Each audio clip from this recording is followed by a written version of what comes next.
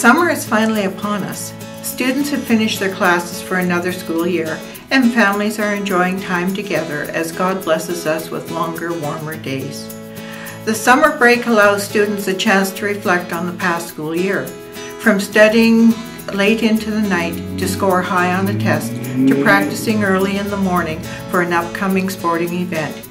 Each student has ended the 2021-22 school year with new memories, new friendships, new knowledge, and a better understanding of who they will become.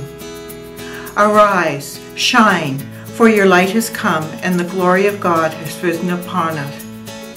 Even though the school year has come to an end, our Mental Health Matters campaign continues to support our students.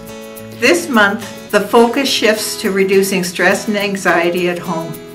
On our website, you will find access to resources, links, and everyday tips on how to focus on mental wellness during the summer break. Delight yourself in the Lord, and He will give you the desires of your heart.